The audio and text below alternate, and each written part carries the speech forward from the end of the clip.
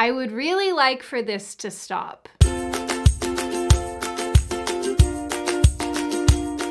Hi, my name is Sydney. Welcome back to hell. And as per usual, before we launch in, today's video is sponsored by Fum. Now, I am personally of the opinion that social media has actually brought us a lot of really good things. And as a person who has been around since the early days of MySpace and even Facebook, because I guess I'm old now, I know that there are benefits as far as connecting and offending people with your blog posts. Other emo millennials will understand. But today's social media platforms have almost given people license to do and say things both online and also out in public that not too long ago would probably have gotten them sucked in the face. And believe it or not, it seems like there was once a period of time where most people, most being the operative word, kept their annoying behavior on the internet. But today, with the advent of TikTok and Reels and Shorts and so on and so forth, people will go out into public with that annoying behavior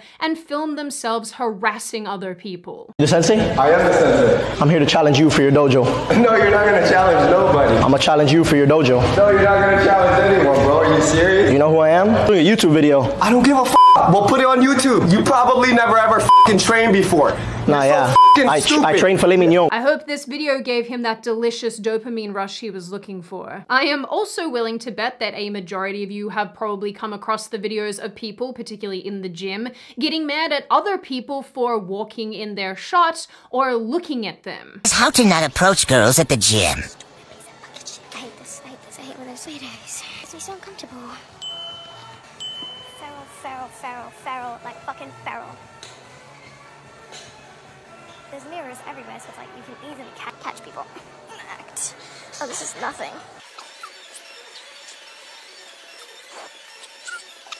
Okay, we're gonna move on to the 35s now. I want you to watch very carefully.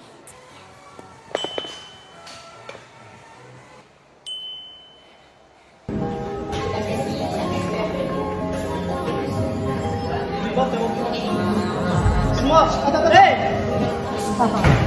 But just recently, I happened upon a video that was going viral on TikTok, and it is yet another iteration of someone doing something annoying in public for views. It was posted by an account called Addicted to Anna and shows this woman, Anna, presumably, dancing while being handed a plate of pancakes at IHOP.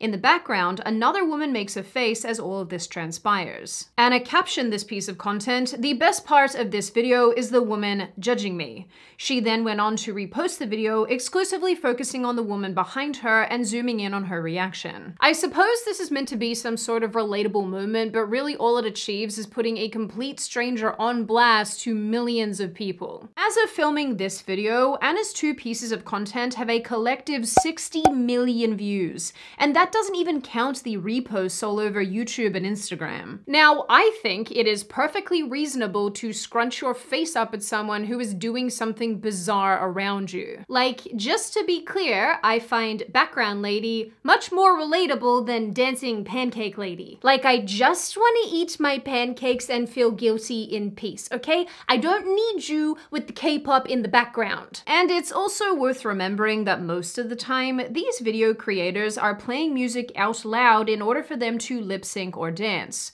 Not to mention, these people probably play the music on repeat until they get the shot they want. And just to remind you guys, to the influencers, it is the people in the background making the faces who are the weird ones.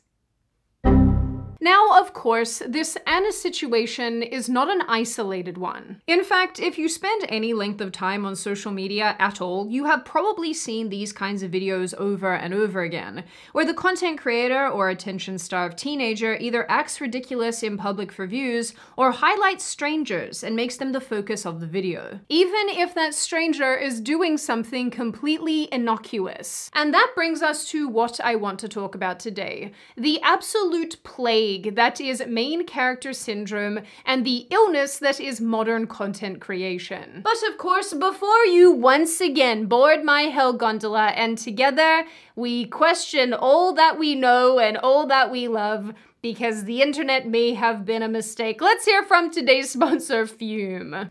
Do you have a bad habit? Is it bothering your loved ones? Bleh. They've told you they hate it. It's true.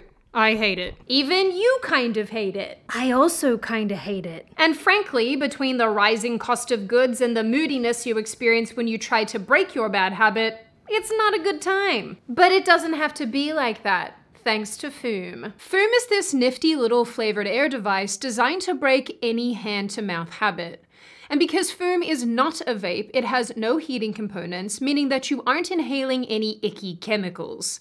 Instead, Fum uses these neato little cores that come in all sorts of yummo flavors. Your Fum also comes with movable components to keep your fingers occupied and relieve anxiety, like an adjustable airflow dial and magnets. This helps you not to scream inside. And remember those yummo flavors I mentioned? Fum has several for you to try, such as crisp mint and white cranberry. But it also has three new flavors, sparkling grapefruit, orange vanilla, and raspberry lemon. You just pop your preferred core into your Fum and you're good to go. So if you too want a yummy way to stop your bad habit, then click the link in the description or go to tryfum.com slash Sydney or scan the QR code on screen. And of course, don't forget to use code Sydney for 10% off when you try a journey pack. In October 2023, HuffPost UK published an article titled How to Do the Tube Girl Trend Respectfully, according to an etiquette expert. The tube girl trend refers to a style of video popularized by a woman called Sabrina Bahsoon, who went viral in August 2023 for filming herself dancing on the London Underground, also known as the tube. Since then, the tube girl trend has picked up enormous steam, with countless other people mimicking the video's original format on all sorts of public transport. Some have even posted videos attempting the trend, but noting that they don't yet have the confidence to bust out dancing in front of total strangers. Knowing how popular this form of content is, the HuffPost article in question tried to give instruction on how to do it without harassing other passengers. It gives suggestions such as filming when minimal people are present and recording a whole video in silence and adding music later, rather than playing music out loud as many content creators do. The article also notes that if you have the misfortune of being around while someone is filming themselves but it doesn't directly impact you, it's best to live and let live. I don't think I want to agree to those terms. Ever. Now, to some of us, needing actual instructions on how not to bother other people might seem utterly insane. Especially because it's been long understood that if you play music out loud from your phone on public transport, someone somewhere will want to give you a dirt nap. But today, people all over the place really and truly genuinely believe that they are in fact the most important person in their own stories, and it's imperative that they go out into the world to make sure everyone knows it, even going as far as to use completely innocent bystanders as props in their main character storylines. As far as official definitions go, main character syndrome doesn't actually exist as a diagnosable mental illness, although it probably should. It's more the manifestation of hyper-individualism meeting the desire for online attention and the disregard of others. Main character syndrome has become part of internet vocabulary to essentially describe situations where people think of themselves as the protagonist in the feature film that is their everyday lives. You know, if the feature film was about faking a personality disorder and wanting daddy to hug you just once. I mean daddy as in male parent, not daddy. I hate myself. An article published in The New Yorker says that the term can be used appreciatively, acknowledging a form of self care, putting yourself first. Well, that's certainly one way of putting it. Or it can be used as an accusation, a calling out of narcissism. A person dressing too extravagantly for a casual event, for example, is trying to be the main character. Now, the latter part of that comment might seem kind of silly, but no, people are really out here trying to wear white dresses to their blind cousin's wedding because their favorite color is white and it looks good on their skin.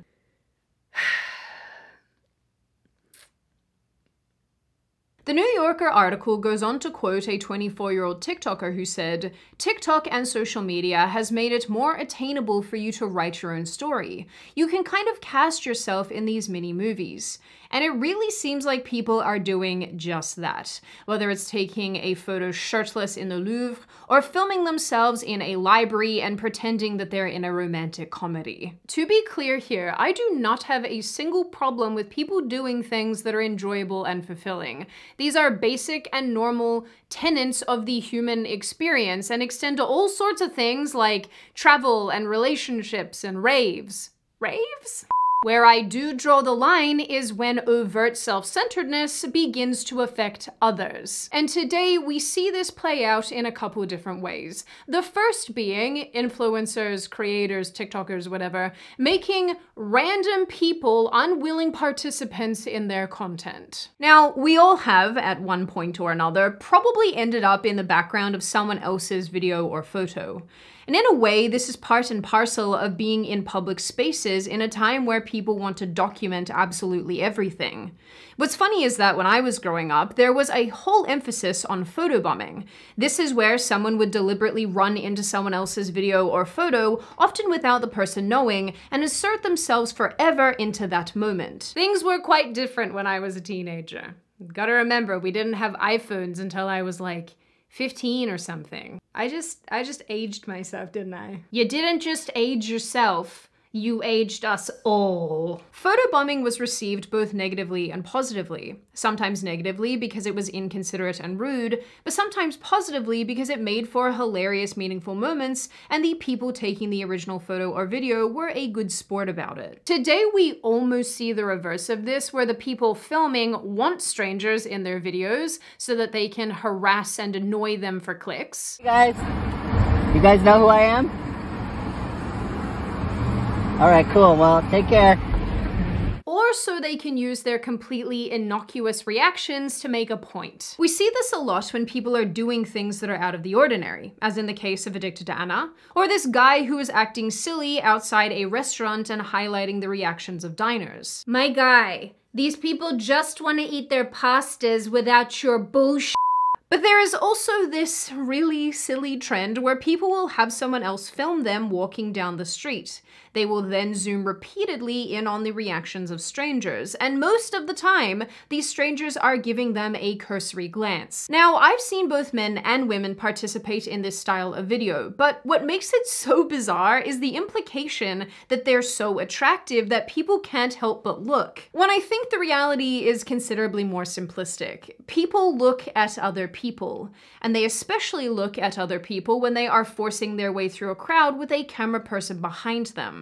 They're not looking at you because you're captivating or beautiful. Well, maybe they are, who's to say? They're looking at you because you're acting strange out in public. Something that I hate so much about this is that people now have to be acutely aware of what their face is doing all the time, lest they be on the receiving end of some influencer's content. And I think all of this is wrong for a multitude of reasons, but one of the most upsetting is that if somebody doesn't react appropriately in the background of a video and the influencer or TikToker or whoever decides to single that person out, the internet often can react very badly to these situations, and that person who did something quite innocently is now on the receiving end of a tremendous amount of hate and abuse. Content creators, and I use that term quite loosely, might be completely comfortable with this level of scrutiny and public attention, but lots and lots and lots of people absolutely are not. So it stands to reason that putting your average person on blast to thousands, if not millions of people is unacceptable. And the ironic thing, and I guess this brings me to my second point, is that when these influencers aren't using people as their own personal props, they're using public spaces as their own personal movie sets where other people are not allowed to exist. And in my travels of the internet, I found so many examples of this, and each one made me more and more angry. I'm talking about, for example, this clip of a woman who is trying to film herself in front of the Eiffel Tower while it sparkles. But she is actively stopping other people from walking anywhere near her as if she owns this space. And like, you know, guys, I'm not a monster. I can understand wanting to get a cool shot like this, but you're also sharing this environment with others. And if you wanted to ensure that nobody else could walk anywhere near you, then you should have been wearing high vis and put witches' hats all over the ground. Witches' hats are what we call these things in Australia. I think everywhere else they're called road cones or or or just cones. I don't know. Do not bully me. One of the places where this actually takes place the most is the gym. People set up their camera or multiple cameras and film their workouts for social media, and also get unbelievably mad when other people walk into frame. Weirdly enough, this also applies to locker rooms and change rooms, where influencers will still set up their cameras and film, even with other people walking around in the background, clothed or not. Which I'm pretty sure is illegal, I'm sorry to say, but you can't put Mr. Smith's man parts on the internet, even if you think your muscles look good in the video.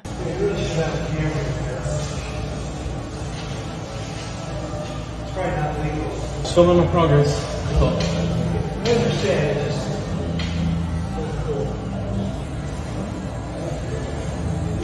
You're comfortable, you can you go there. Always thought so. You recording right now? Yes. I don't want to be in your recording. I don't care. You touch me, watch what happens. I'm actually very happy to report that my gym bans people from filming in the gym or basically anywhere in that general vicinity, which is great for someone like me because I don't want to end up in the background of your video while I'm melting over in the corner. Absolutely nobody wants to see that. But all that aside, there is honestly so much entitlement and lack of self awareness in these situations that is incredibly disheartening. And the cherry on top of this terrible cake is the fact that these gym influencers, who you would think are recording themselves in the gym to post on social media to encourage other people to use the gym, are in fact the ones making the gym an unpleasant place to be. This goes for the women filming other male gym goers to say that they're looking at them and being creepy when they're definitely not. For the people who film other people in the gym to make fun of them on social media, and just the people who go into the gym with a general lack of self awareness and make other people very uncomfortable by filming themselves and making the gym not a very encouraging or welcoming place. If you do these things, you are 100% the problem. And eventually Joey Swole will find you. Some of you will definitely not know who that is, and if you don't, I encourage you to go and look up Joey Swole because he's one of the only people who uses his platform to call out bad gym etiquette, and we thank him for that. Anyway, all of that brings me to probably the worst part of this main character syndrome slash influencer apocalypse phenomenon, and that is the general disregard for others. One video that I found particularly enraging showed a guy filming himself sitting between a couple who are looking at the Eiffel Tower. He then reaches over and takes a handful of ice cream from this young man's cone, which he then eats. Now, I don't know if the couple was in on this and it's a setup, which is sometimes the case, but assuming that it isn't, this behavior is absolutely not okay. And yet, social media has made it seem like it is. In this effort to be more and more extreme, in the greater effort to get more and more attention, we have effectively removed the guardrails on what is appropriate behavior out in public. Like showing up to class with a typewriter instead of a laptop and then loudly typing and dinging, disrupting other students. Or screaming at strangers and joking about how nobody cares what you do in public. cares? Guys, aren't I just laying here? I'm literally in so many people's way. This video even shows a woman shoving a complete stranger because he stood in her shot. I would bet anything this is the type of person who goes on the internet and talks about consent. Like, completely ready to tell you how Snow White being kissed by the prince wasn't consensual. But really, ma'am, how self absorbed do you actually have to be to believe that you are entitled to push another person away because he stood in front of your camera? Now, again, I'm willing to bet that to some people, this behavior is, yes, inappropriate, but it isn't dangerous. Except when it is. Because sometimes this general disregard and disrespect for others, mixed with the desperation for social media interaction and likes and clicks and so on, can turn into genuinely illegal activity that can traumatize others. In May 2023, a UK TikToker called Mizzy was taken into custody by police after he filmed himself breaking into people's homes, stealing someone's dog, and even threatening to harm women. All of these situations were passed off as pranks, but for the people on the receiving end of them, they are anything but. And that's one of the worst components about this discussion. These influencers genuinely seem to view their actions as innocent and innocuous. They're just having a laugh, having some fun. But the reality is that they're going out of their way to harass complete strangers. At best, this completely disrupts the day of the person on the receiving end and at worst, they end up traumatized or even hurt. But thankfully, some of these online media personalities are finally starting to experience meaningful consequences for their behavior, especially in the case of several content creators who recently gained widespread attention for harassing people in Japan. One individual called Johnny Somali filmed himself on public transport, making fun of Hiroshima and Nagasaki, and even playing unsavory music out loud to try to provoke a reaction from other passengers. An Australian man with a TikTok called Shearing Shed Vlogs filmed himself walking through a women only train carriage, making remarks that some people perceived as very inappropriate. And a YouTuber, Fidias or Phideas, I, I don't know how he pronounces this, has been documenting himself breaking the law all over the country.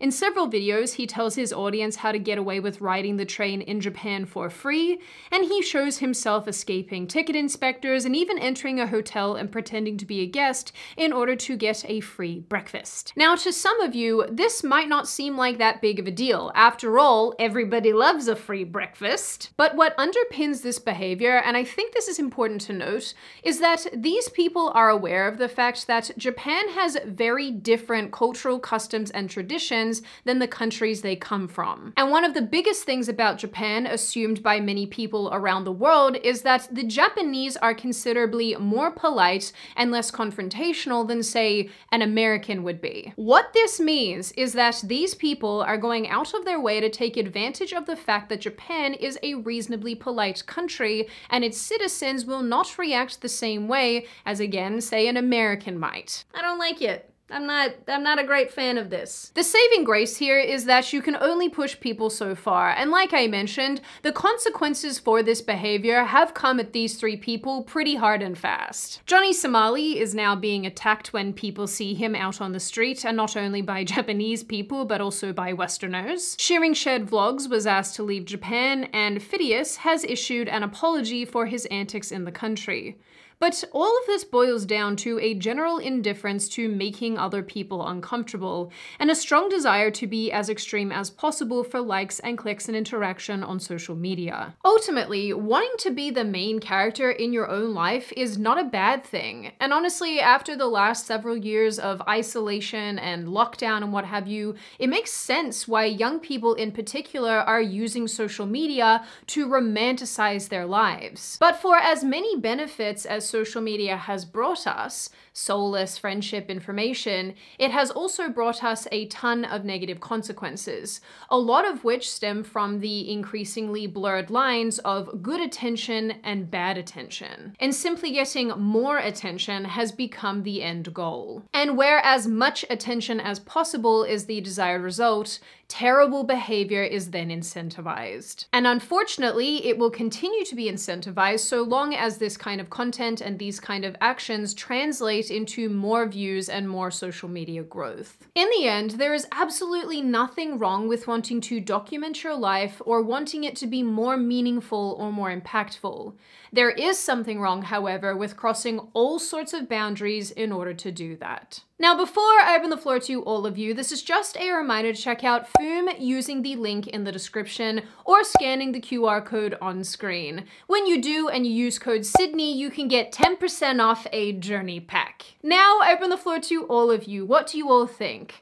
What do you make of this crazy influencer apocalypse? What do you think of the concept of main character syndrome and how this has become such a popular thing on TikTok with reels and shorts and whatnot? Do you think it's a good thing? Do you think it's a bad thing? Do you think this is a net negative overall for society? And what do you generally make of this issue overall? As always, if you have made it this far in the video, I am so glad. I always like having you guys here right to the end. If you are not subscribed already and you would like to see more of me and more of this kind of content, feel free to do so. Also leave me a like if you so desire. And of course, feel free to leave me a comment telling me your thoughts and opinions because I do read the majority of those and I always like hearing from you guys. And as always, I will see you pretty people in the next video.